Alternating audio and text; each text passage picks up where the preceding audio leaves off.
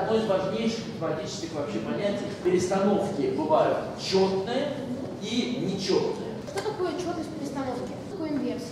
Строчку из чисел от 1 до 6 в тех же самых шести столбцах как-нибудь переставить. Ну, достаточно случайным образом переставить. Все, давайте. Три, отлично. Один, пять. Да. Шесть, отлично. Два, четыре.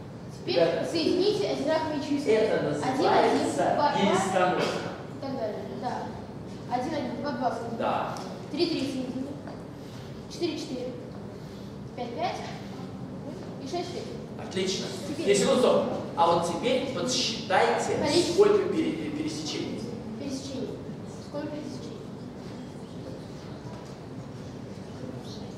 Сколько? Шесть. Шесть. Спасибо. Это называется четная перестановка. Да. Ребята, если количество пересечений 6, четное число, перестановку называют четкой. Если количество пересечений нечетное, перестановку называют нечеткой.